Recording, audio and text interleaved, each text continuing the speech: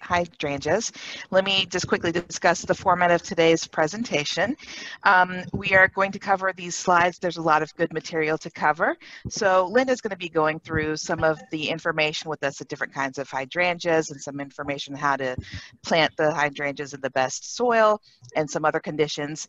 Um, if you do think of any questions, the best way to put them in right now is in the chat window. The chat function is on the bottom of your screen and we'll start start looking at those questions and at the very end of the presentation, we'll start addressing your questions one by one and we'll have a more interactive session where we can chat with Linda. And I hope that makes sense for everybody. So we'll go ahead and get started. Okay, so I, I fell in love, actually, I fell in absolutely love with hydrangeas in France. I mean, you know, a long time ago when I was a little girl, the classic statement that was when the people would plant a plant in a house, you know, like you had a house built right after World War II, you had a hydrangea. And I, of course, I was quite small and I, I didn't have anything about this, but know anything about plants really at that point. And so, but when I started going to France all the time, I saw them. And so the tent, the intense color and the beauty of the blooms, uh, I mean, just absolutely astounded me. So whenever I would come back, I first started buying Michael Dirr's book. Michael Dirr is the guru of all hydrangeas in the Georgia area and not just Georgia, everywhere. He is the he's well known everywhere for what he does with plants. And so I started with just three plants with Annabelle, which is a native hydrangea within the um, southeastern United States. I did not know that at the time that I purchased it, but every southern garden that has got a hydrangea usually has an Annabelle. Um, it is just a classic. And then I put in a triangle area, I put two other plants, uh, two Merritt's Beauty, and they were dark, dark purple. I mean, just purpley pink. And so you had the white at the top and you had your triangle at the bottom, the base. And when you would approach it from the side, you would see all of those colors and it was just breathtaking. And um, so then I became addicted. You know, I started, you know, going on into the different varieties. So you can go to the next slide. okay. Okay, so I wanted to tell you a little bit about these. Now, you have your Annabelle that's a native, you have your Quercifolia, which is an oak leaf that is a native. And um, so these are the base of many grafts that are made into making new plants that perhaps are new, more hardy or more, the, the stems are stronger or their blooms are a little bit different. And so, um, but, but basically, most people that have a garden that is large enough to handle a um, a quercifolia, uh, uh, you know, you will have one. And then the same goes for the Annabelle. So, but, but the other types of hydrangeas were discovered in the East. And so you would say Japan, you could say Thailand, you, you could say anywhere. So those started with, you know, the, it, and pretty much every plant that we have starts in the eastern part of the world. So um, the the word hydra, I'm I'm big since I was a language teacher. I'm very big into what does a name mean. So hydra means water, and gion in Greek means vase or pitcher or something. So if you think about the, um, the, the shape of a hydrangea, it is a vase shape for the most part. You know, it goes up from its bottom and then it's got its big leaves and big stems that come up. So hydra, water, pitcher, water vase, you know. So the hydra part is it, it gives you the idea that a hydrangea has got to have a lot of water. And the back of a hydrangea, the back of the leaf of the hydrangea, is it consistently full of tiny, tiny, tiny little holes. And I will not bother you and bore you with the, the name but because you won't remember that. But if you just think that the back of the plant is constantly emitting mist all the time, it's emitting mist. Therefore, it needs more water on the base so that it can continue to demit that. And so if it's got a, um, you know, you see the, the, the limbs are not the limbs, but necessarily the uh, leaves drooping down, that just means that they have just got out, you know, they need a little taste of water, okay? So, um, okay, we'll go to the next slide. Okay, so now we're gonna, this is the agenda. We're talking about varieties, the care, issues that you might have, pruning, propagation, and I hope that you enjoy this presentation. So if we talk about um, the varieties that you might have, now this is a, a large amount that you might be overwhelmed with whenever you go to a store, because what you see when you go to a nursery is color and, and the size of the plant, or there's got to be something that is attracting you to that. It might be the blossom. Um, so right now we're going to talk about the different varieties. So the macrophylla is the French variety that is the ball shaped bloom. It's round, it's big, it's very colorful. Um, sometimes the colors can last on it for a very long time. The quercifolia is the native oak leaf hydrangea. And as I said earlier, they, they, that the blossoms can either stand up straight and they're generally always white. Now, I mean, you, it's very rare that you're going to find a quercifolia that is a different color. I know that there are some new varieties, but they haven't been like the standard, um, the, the native where your, your, your, your blooms are stronger and they're white and they will stand up straight.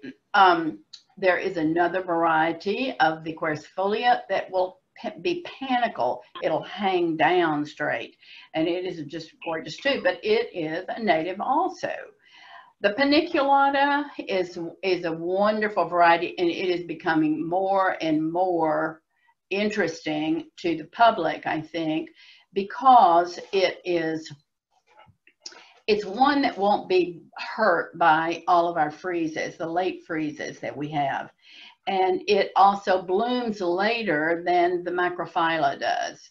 But, um, and, and they can be variegated in color.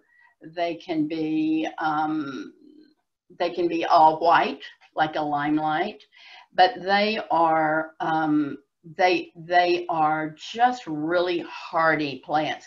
They require more sun than our, our macrophylla does. need to determine whether a customer is Medicare eligible. As the agent, your job is to direct the conversation.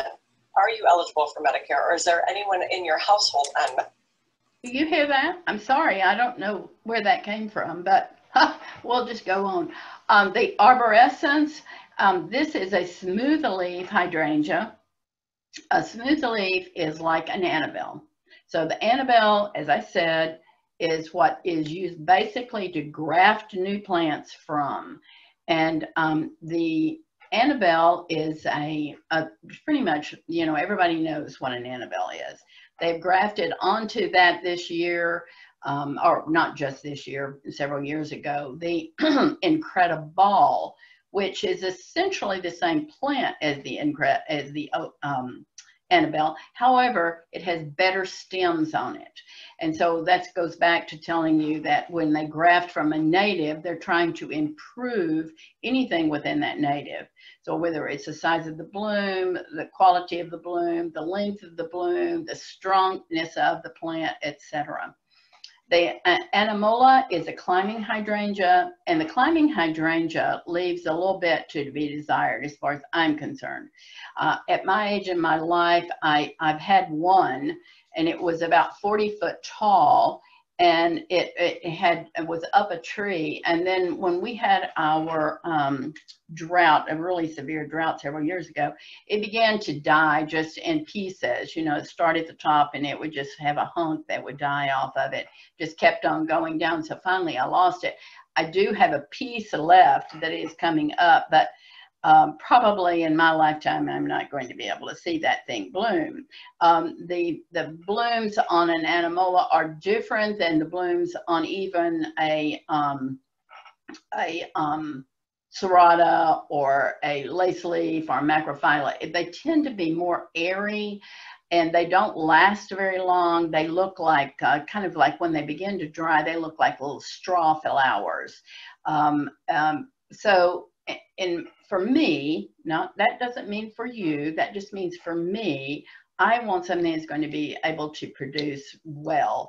There are many, many, many varieties of the climbing hydrangea, and perhaps you might be able to select one that will be more successful than what mine was. But um, I don't know. I can't really attest to that.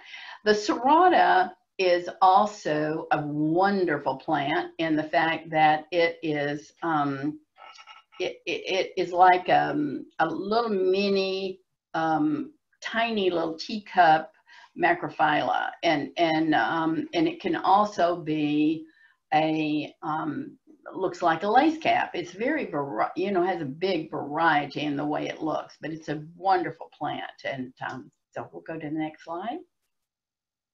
Mm -hmm.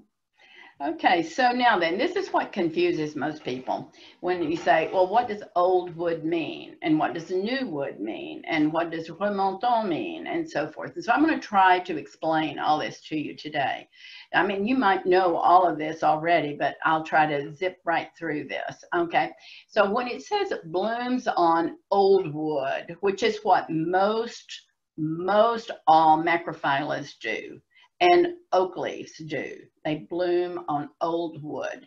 That means that any growth that you have had in this particular growing season is what will bloom next year.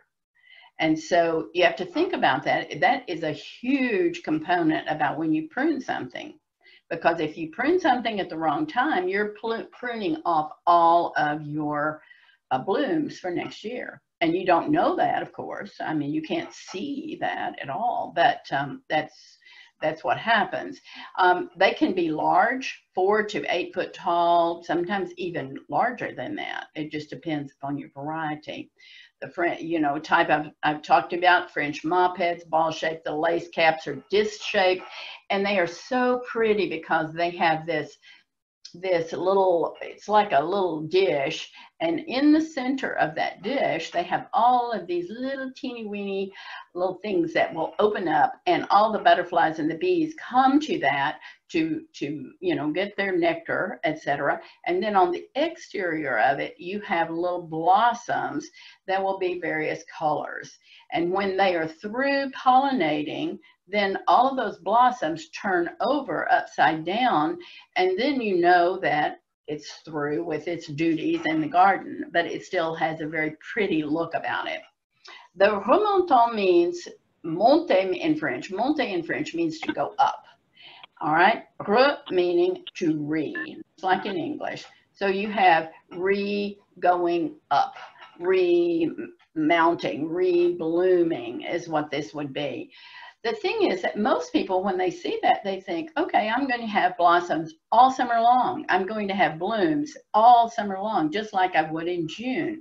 That is not the case, and I don't want to discourage you from having these because they're wonderful plants.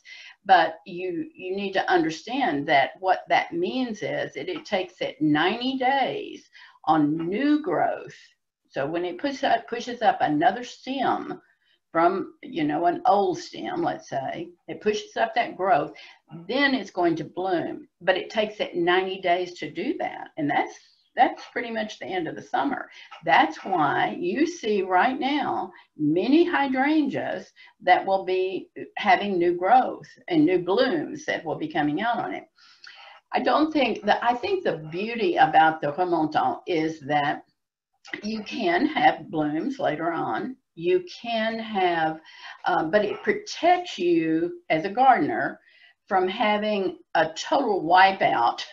if we have a, a uh, like a, you know, April, after April 15th, when we've had been noted for having all of these terrible freezes that we've had come in, which um, in, in you know, March, late March, 1st of April, you start having the swelling of the buds and the little bitty leaves start coming out. And then we have these freezes that kills everything. But a remontant will be able to recover and you will be able to have some blooms later in the season. And um, so um, the, the BloomStruck is what you see in everybody's garden. And that's in the upper left-hand corner, what you see. And that is my garden. And I, I will tell you, it blooms its head off. It is a strong bloomer. Uh, it's beautiful. It can have different colors on the plant. Um, it is hardy. And I have never, ever had a season that it has not bloomed. I mean, it always blooms. On the bottom, you have a lace cap. lace caps are beautiful. This is a lady in red, but most people are confused when they say lady in red because sometimes in some gardens it can be blue, sometimes it can be pink. It is never red. And, and, but the thing, the name comes from the stem. The stem has a red stem on it. Uh, on the upper right hand corner is a new variety that's called Cityline, and they are, well, I would have to say this. Let me preface this. There are, in my garden, I have had success with three. One has been struggling, but I think that just maybe it didn't like where it was planted. And so I have moved it this year to another garden. But it is at this particular one this year, this, this picture that you see there is from last year. This year, the color on it was absolutely dark, dark purple. I've never seen it bloom like that before, where it's been that dark purple before. The bottom is Fuji Waterfall. That is from my yard also. And Fuji Waterfall is on these tiny, tiny little thin uh, stems that burst out and it looks just like a star flying out from the plant, uh, like a waterfall would be going. And I've heard some people say that it looks like starburst, but, and it might be, you know, that sometimes these varieties are very, very similar. Okay. All right, now quercifolia. All right, so in you see two pictures here. The third on the on the left-hand side of the picture is ruby slippers, and ruby slippers I have heard has got uh, varying, varying various types of um, re, you know reports. Some say it's great, some say it's not, some say it never turns purple like that. So I do not have that plant.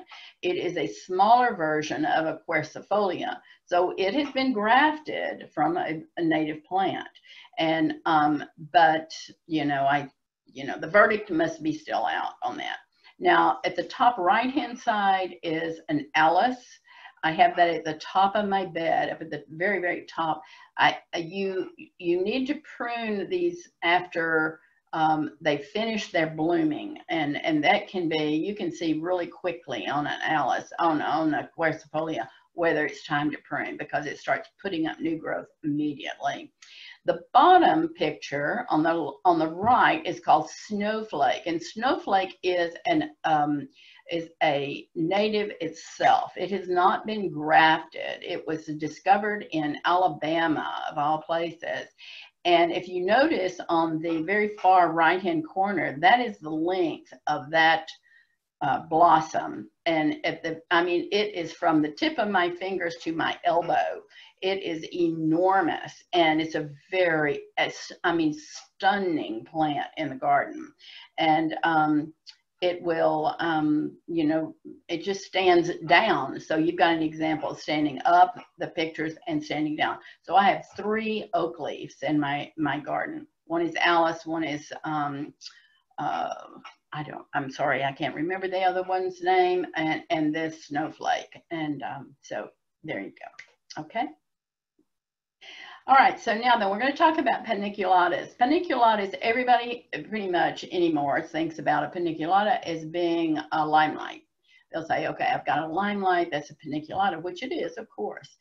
Uh, and um, paniculatas bloom on new wood. So that means in February about, January even, um, if it's really cold, when they're totally um, down, you know, any new, no, no growth at all on it you can cut those, you can prune those at that point. So any growth that you have coming up the next year is what you're going to be having your blooms on. And um, so they can become enormous, just like a quercifolia can. I mean, the limelight in particular can get immense. Mine is probably oh, I would say 10 foot tall, probably. And it, it this is your picture on the left-hand corner is, that is my paniculata that I have. next to it, which you really can't tell, is the vanilla strawberry or strawberry vanilla on it. And um, it blooms white white, whereas this is more of a greeny white, I guess is the way to describe it. Um, it blooms later in the season. It is, um, the blossoms can be upright or they can be sort of dangling to the side. Um, they are one of the largest ones that has the biggest panicles is um, Pinky Winky.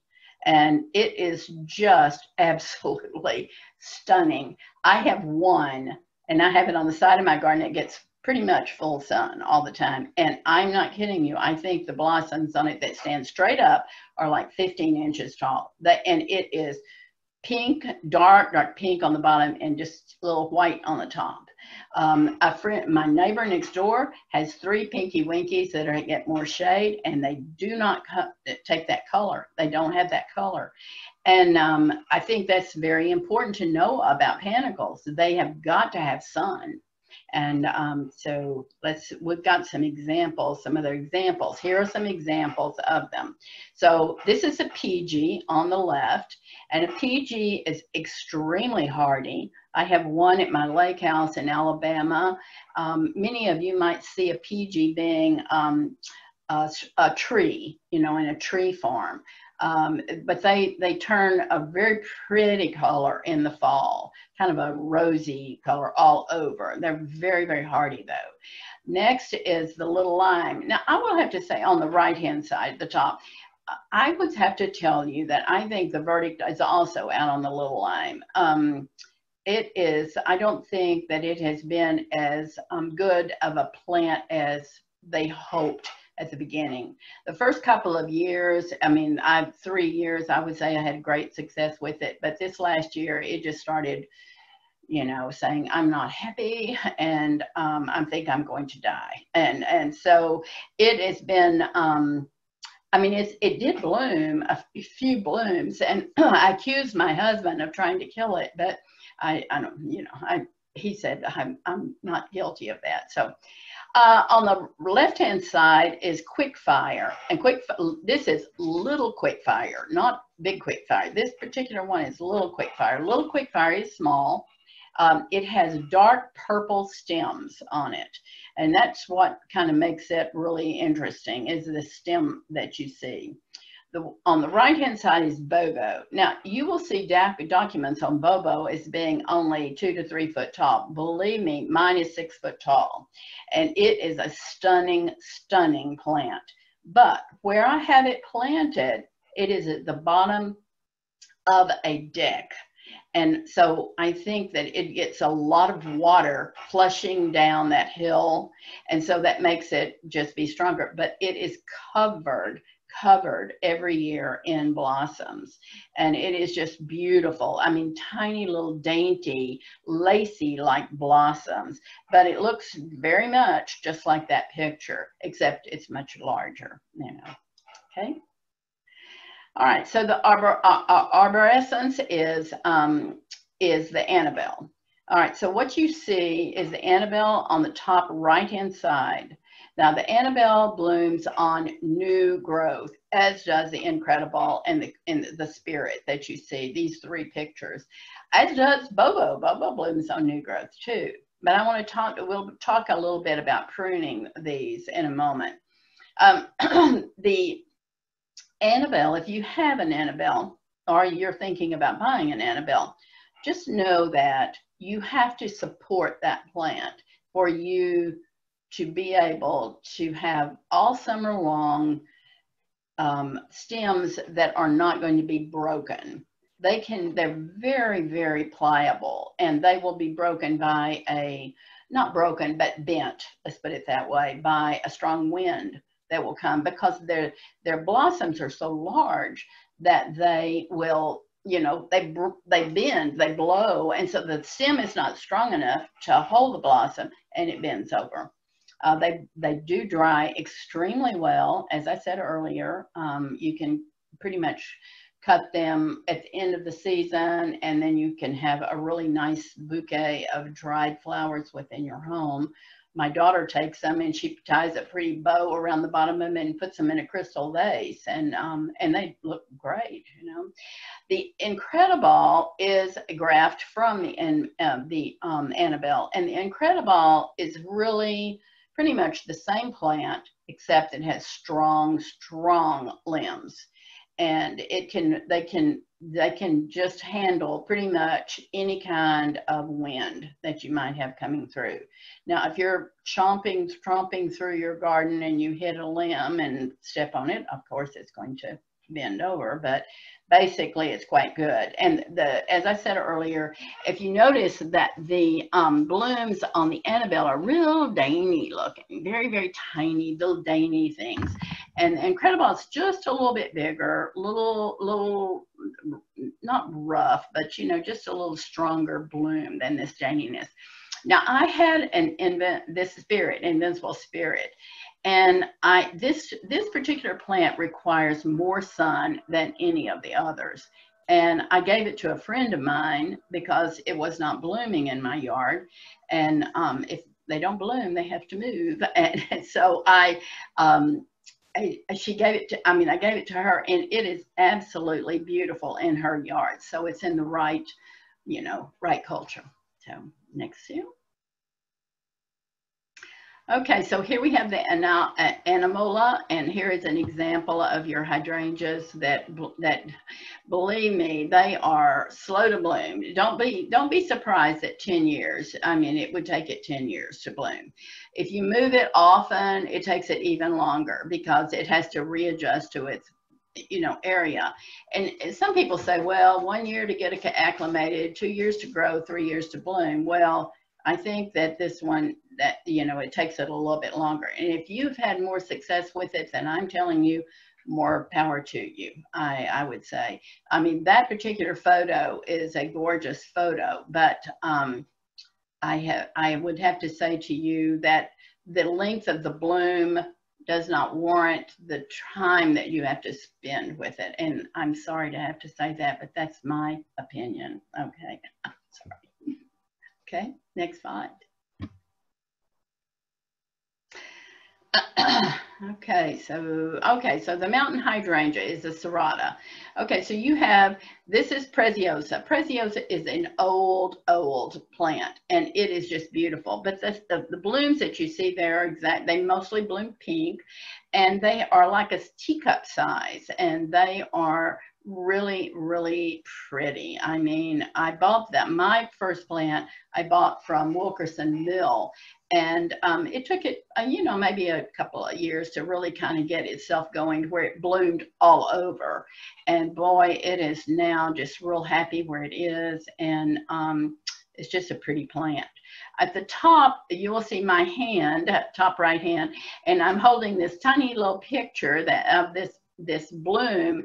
This is a mountain hydrangea also. And mountain hydrangeas are tend to be uh, more cold hardy, but their blossoms are tiny and more like um, uh, just a little bitty, little bitty teacup. And, um, but they're real pretty. Uh, they look kind of like a lace cap in a way that they have this furry part in the center. A Tiny Tuff Stuff is really good. It is tough and it looks like a um, lace cap, um, but but it's not. I mean, it's you know, serratas can be classified also as a lace cap, but it is a nice plant, a very strong plant, and blooms well. Blooms well. Okay.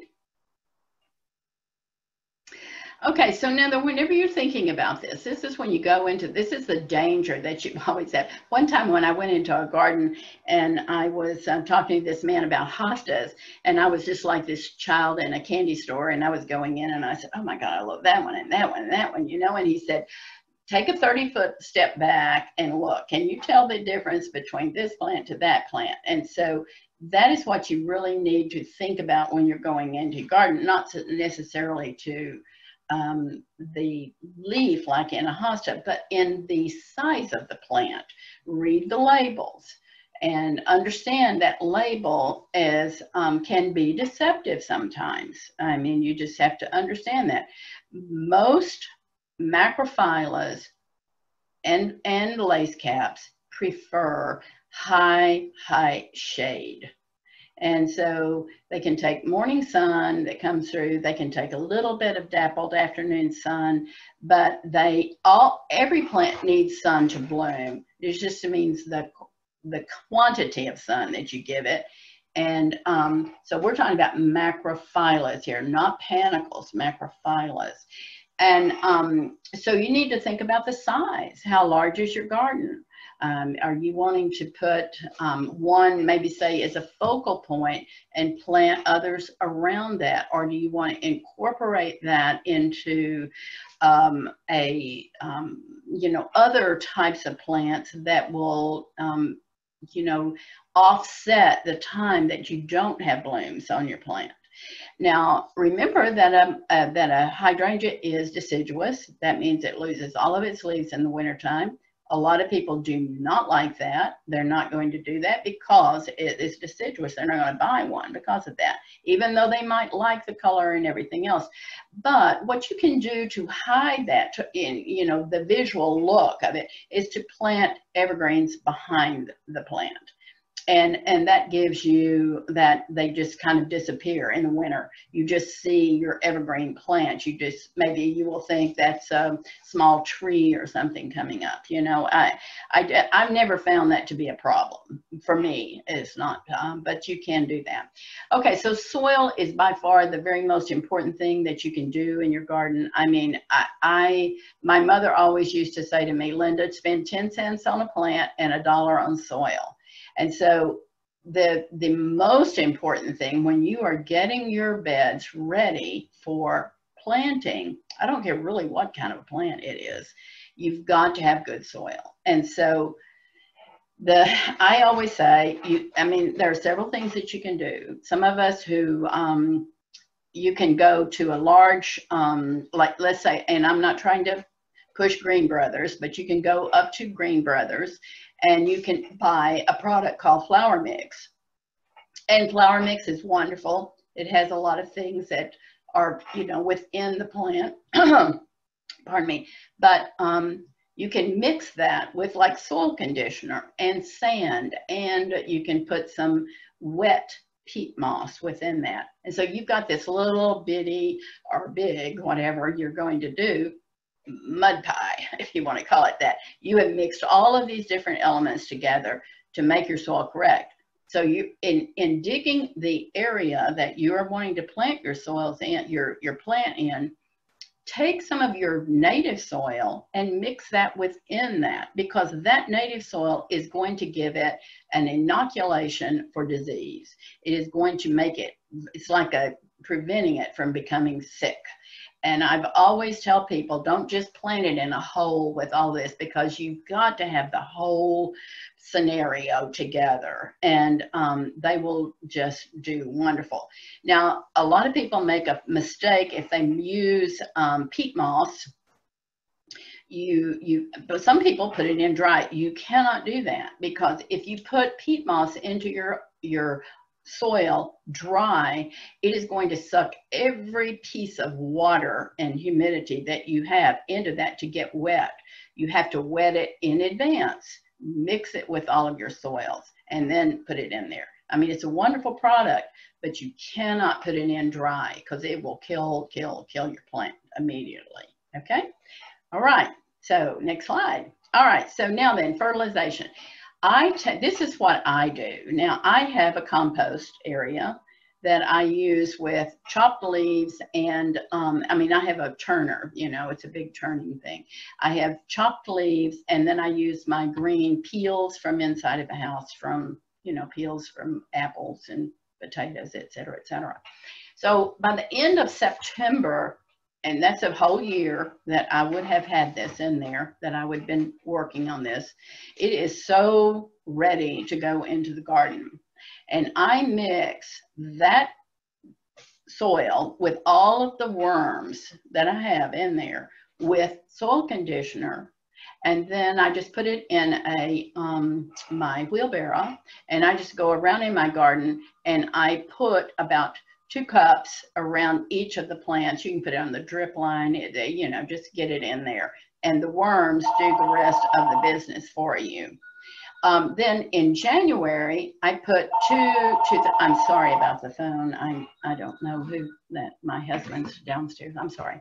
Um, the, in January is, or February, January, February, it just depends, late January, when everything is really cold, you know, take some cow manure and then you put two to three cups um, on your plant around that base again. Um, and it would be um, you know, it kind of, it's an organic, so it's really slow release. And then your March is when you begin to fertilize. And a, a, hydrangea does not need a great deal of fertilizer. It needs very little, really. It gets most of it from the ground that you've got it planted in.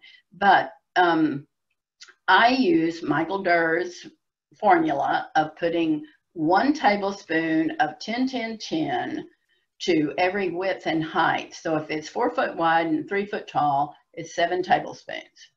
And that's all you put. You don't put any more. You don't do anything else until next year. And now, sometimes in the midsummer, if we've had a terrible, terrible summer, maybe I might put maybe a half of a tablespoon on a plant and just give it a little boost. On the remontant, you can do that. You can put a tablespoon uh, every month, really, to give it that energy to push up another bloom because they do require a little bit more. But that's kind of iffy. You don't have to do that. I mean, it's it's not required, but that's okay. I mean, I think it's good for the plant personally. Okay. Next slide. Okay. Okay, so watering. This is a big problem because, of course, today we've had this deluge of plants that we have, and um, a hydrangeas need a lot of water, but it's like one inch per week. Now, that is, you know, if we have rain, you don't have to worry about that, do you? I mean, if you've got a good, if you've had a good rain, let's put it that way. Um, it's best to water them under their foliage versus on top of their foliage.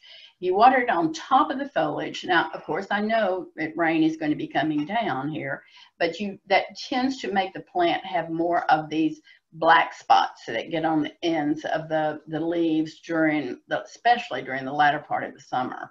Um, and it's like a fungus and it's very hard to control. So the best way to deal with it is to lay a water hose, a drip line, a water hose, a water sprinkler, anything under the plant and deep, deep water, and I mean deep water, um, until that, you know, so that it, it really, really gets way down into the plant. Um, you don't, whenever uh, hydrangeas are typical of wilting in the afternoon and heavy sun, you know, late in the afternoon. Um, but you don't really have to water those. You think, oh my gosh, I need to run out and water that plant. You don't really have to do that because um, unless the next morning you wake up and you look at that same plant and it's all wilted, and then you need to get the water to it. Um, but otherwise, you know, one inch a week is fine. Okay, people want to know about color change. Okay, so go to the you go to the nursery and you see one that is pink, and you want it to be pink, and you bring it home and you put it in the ground and it turns blue, or it turns purple, or whatever color it might be. It's not what you want it to be. And so, in order for you to know what your you've got to go, you've got to take some soil test. Go to your general agent, you know, in um, whatever area you live in, and there are soil test bags, and you can, I mean, it's very, very cheap to get a soil test, and you can find out what your soil is for the area that you want to plant your plant. Now, if you want to maintain the color of a specific plant, you can put it in a container and it pretty much will hold that color.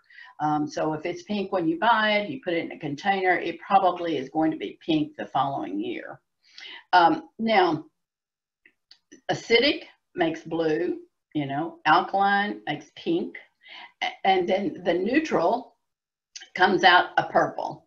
And some of the new varieties, like the Cityline series, will hold their color even if they're in the ground. It's kind of a, a new thing, phenomena that is coming on anymore. Um, oh.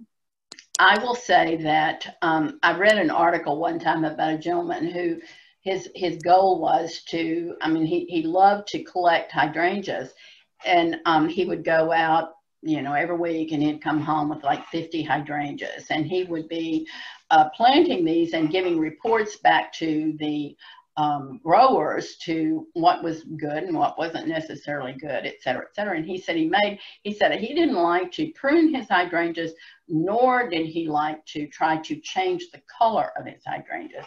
And the reason for that was he said, I nearly killed the poor things the first year I tried that by putting too much of the lime or too much of the acid on the plant. And he said, so I let mine do whatever they want to do. And I would have to say to you, that is exactly what I do. And I'm going to describe my bed to you where it is. I have probably one that is 50 foot long and um, maybe say 20 foot wide. Okay, so let's just give that as a ballpark figure here. So the outside of the edge is my yard. So it's grass. The top of that oval shape is pine straw. The sides of the other side are gravel.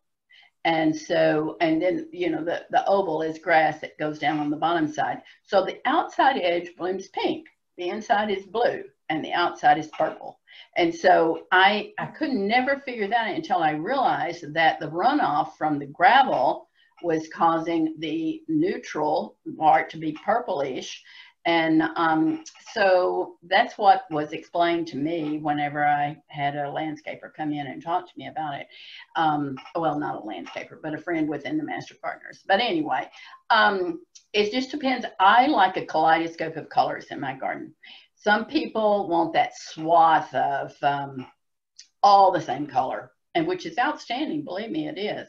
And maybe that is for that person's personality. I truly, truly believe that every garden mocks the personality of the person that is designing it.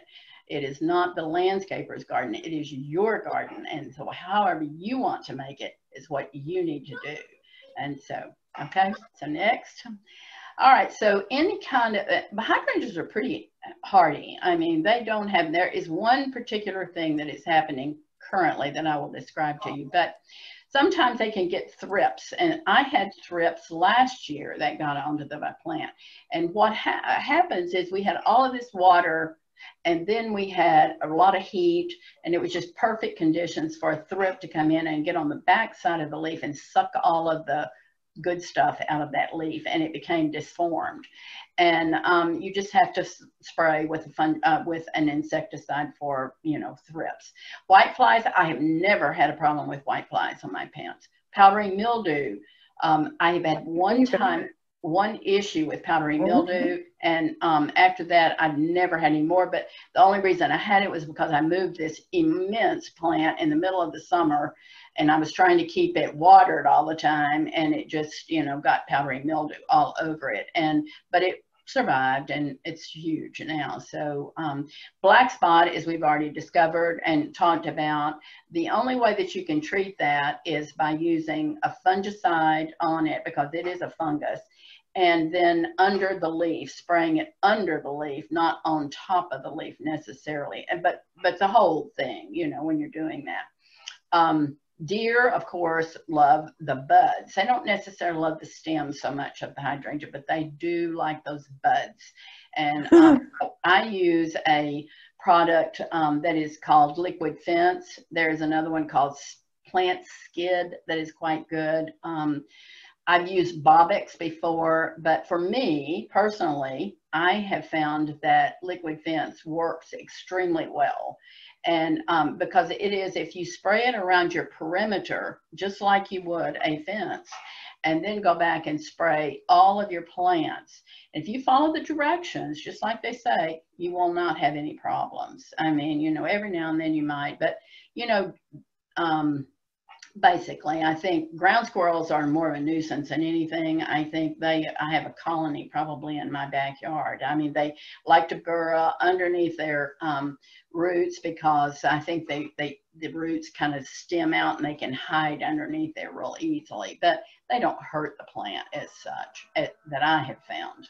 Okay, next. All right. Okay, so this is a lot of people say, why, why is it not blooming? You know, so where there are several reasons for this. Number one, you might have a tiny plant. You know, you might have a little cutting or something. It takes us a while to get growing. You know, it's a uh, maybe you have planted your plant in way too much deep shade, not high shade, but deep shade, where it gets no, not even little bits of sun coming down through it. But the most important thing is that you have pruned it incorrectly. And so we'll be talking about how to prune a plant in just a moment. So the next slide, please. Hmm. Okay, so when to prune old versus new wood, etc. Okay, so the macrophylla and the quercifolia blooms on old wood. So you should prune those after they bloom. And that means before August 1st. Now, quite honestly, I I have so many hydrangeas that I start pruning them in um, June, um, excuse me, July 15th. That's really my cutoff time. I start then, and but I do not prune very much now. I if I have a piece that is um, you know too tall or sticking out, or maybe I need some more space around it, I'll prune then. But um, those and I so if I it in July, it's still going to grow, see, through that summer. And and so you're going to have some new growth for the next year for it to bloom on. The paniculatus and the arborescens, okay, so paniculatus can be pruned in February. That's the best time to prune them. Now, there's two different ideas about pruning a paniculata. Some people are very severe and cut it back to like six inches. I never do that. I did that one time and I regretted it tremendously.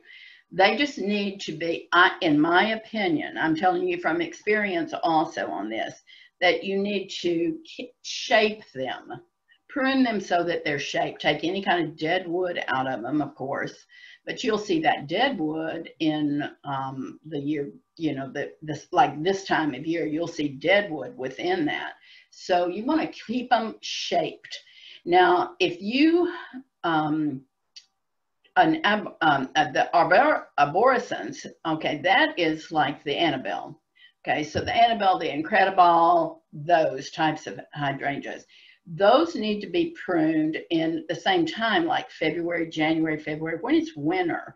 You go out and you can prune those. Now, again, some people prune that uh, the Annabelle down to like six inches if you do, you're going to have all of this new growth that's going to come out. And the problem being is that it's going to be even more loose and floppy, if you want to call it that way, than it would be if you prune it to about 12 to 15 inches. Now, I have learned this through experience and also through doing investigations on this. So that the, the, if you think about it, 12 inches up, then you're going to have another like say 20 inches coming up on top of that for your plant. And it's just stronger. The bottom is stronger to support it. Um, the serrata, which is like the preziosa, Tiny Tuff Stuff, um, you prune those as soon as they finish blooming, just like you would uh, um, anything else.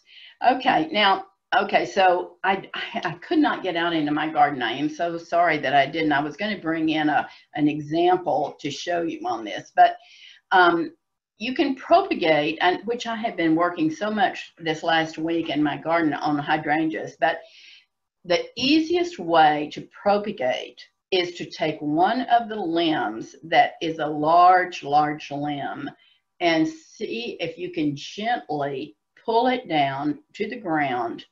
You scrape off the back of the stem slightly, just slightly until you see some green and lay it down with some soil. Make a little trench, lay that stem down, put a, put a little bit of soil over it, put a brick, stone, anything on top of it to hold it down into the ground.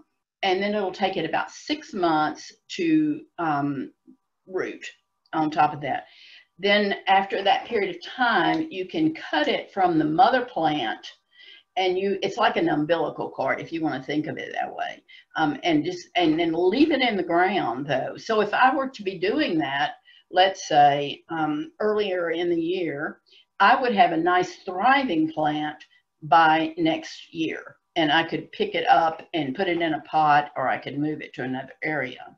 All right. Um, so a cutting, when you do a cutting, you take about a six inch piece of green stem and you you you will see little bud areas where there could be leaves. You or, or there are full of leaves. So you want to strip all of the leaves off of that stem except for two at the top.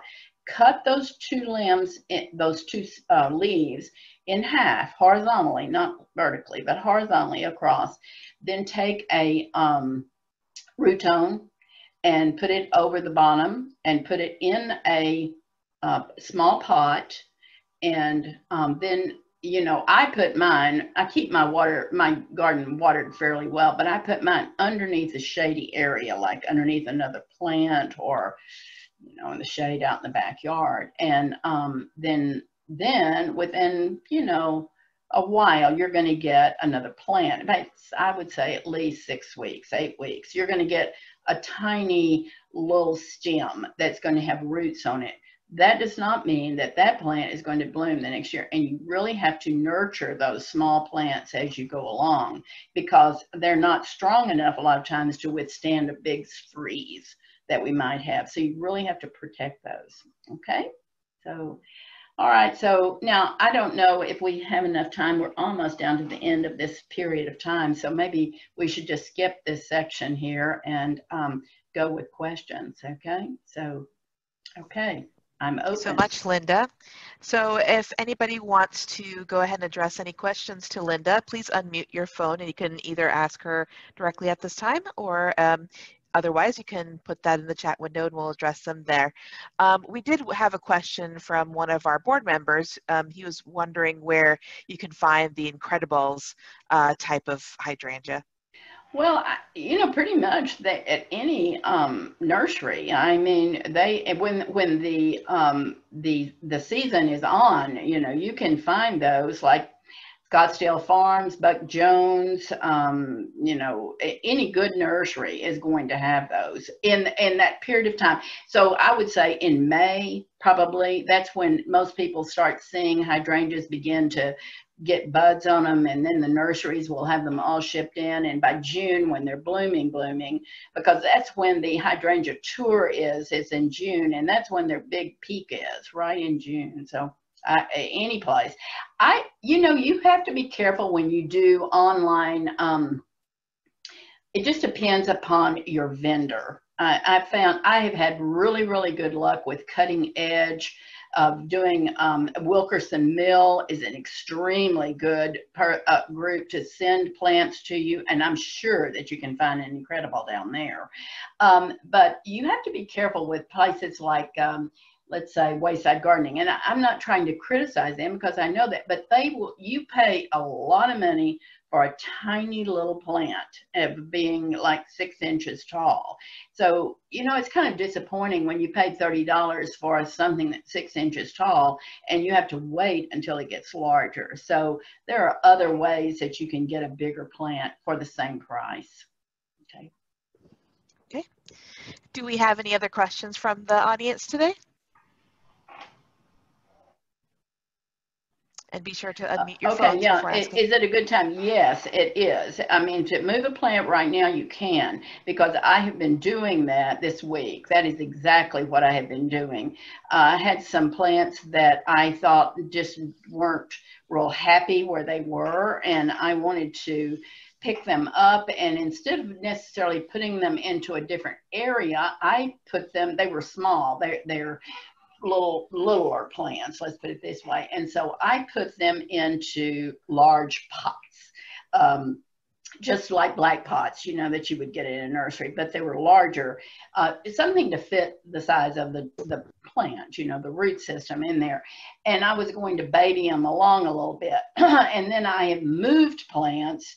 I had um, Penny Mac, a mini penny rather, that was growing under a Merritt's Beauty and it wasn't blooming because it couldn't breathe. It was just, you know, too much plant there. So I picked it up and I was really kind of worried about it because it looked sort of like oh, I'm not real happy after I bloomed it, and I mean, after I moved it. But after all these four inches, five inches of rain we've had, I went out today to check on it, and it's just perked up and it's real happy right now. So only thing I can say to you is that when you get you want to move something, make sure that that you have your soil ready for that plant. When you dig it, you're going to make sure that you've got your bowl ready, you know, that it is wet. And then you have wet your plant that you're moving and then you put it in there and then wet it really a lot until it can get settled down into that new bed. Uh, don't don't short yourself on soil okay? Any other questions Say, Gina, this is Kelly. Um, I, I, um, not a question, but a comment. Linda, this was fabulous. I took so many notes, oh. and um, I've already Googled Michael Dirr. I, oh. I hadn't heard that name before, so thank you for sharing that. Oh, and, and also um, about the flower mix at um, Green Brothers. I'm oh. definitely going to head over there in the next week. Um, I have one more shameless plug, and that is because it just occurred to me as we were talking about this.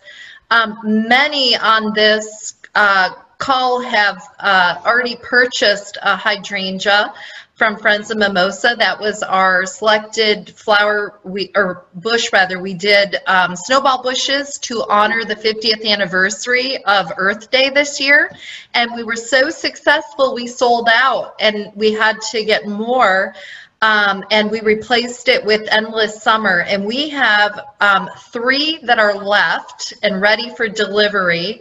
And um, while they are not blooming, they were really strong and beautiful um, plants. And um, you can, and um, Candace Curley is on the call. I hope she can confirm, but you can go on our website and it was a $50 donation in honor of the 50th anniversary. And these were to Linda's um, point these were actually in three gallon, um, really nice plants in three gallon um, um, gallons and also came with fertilizer to fertilize for two years. So fertilizer pellets. So, so shameless plug, if you want a beautiful plant to, to uh, honor Earth Day, we still have three left. So uh, go on our website and, um, and make that purchase. That's right. Mm -hmm. I think I saw somebody else that had a question. I don't know. I, I they it little popped up there, but maybe not. Mm-hmm. Mm-hmm. Um, I think it's on the bottom here. Um, let's see. Would you bring that small plant oh, that you is. put in the small pot inside before frost and take out and replant in the ground in the spring? Uh, yeah, I mean, you can do that. I think probably it would be better if it's a, like if this small plant that you've taken the the um, cutting from. And then you were going to up the size of the pot the next year. And I think that is the better way of doing it. Sometimes plant, even though they look like they're in, let's say, uh, three quarters of a gallon or a gallon sized pot and they look real healthy, sometimes those get lost within your garden. You forget about them or you don't know where you put them or, you know, somebody steps on them. So maybe it would be better to put those in a, I mean, you could put them in just a nice pretty pot and put them someplace in your garden until they get big enough to put into the ground. Okay. Okay. Mm -hmm. Any other questions from our participants? I did want to um, showcase some of the resources that Linda has provided mm -hmm. for us. If you're interested in learning a little bit more about hydrangeas, there are some great links from the American Hydrangea Society, Explore Georgia, as well as other places. It's, and then the mention for the Michael Dirr uh, book, mm-hmm. Hydrangeas for American Gardens. Mm -hmm. This has really been an experience for me. I've never done something like this, so I, I've appreciated it, and I it wasn't quite as intimidating as I thought it might be. But no, you've been absolutely wonderful and a true joy to be, um, you know, presenting with us. Thank you so much. All right. Um, we, there are future classes at the North Fulton Master Gardeners Club, and we actually have one with uh, Mimosa Hall as well. We have another topic on the 24th of this month for shade gardening, so stay tuned for that. You can also sign up for that class um, on Eventbrite as well. Well, thank you very much. Mm -hmm. Thank Thank you, you, Linda. This is a everybody. Great presentation. All right, thanks a lot. Bye-bye. Thank you. Have a good night, everybody. See you again soon. Mhm. Thank you, Linda. All right, you're welcome. Thank you for helping me through this, okay? Absolutely. We hope to have